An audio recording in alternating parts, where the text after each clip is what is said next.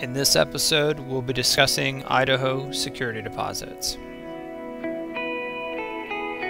Under Idaho state law, there is no statute that restricts the amount of security a landlord can collect from a tenant. Whatever amount is collected must be returned within 21 days after tenancy ends unless the tenant and the landlord both agree that they can extend that to 30 days.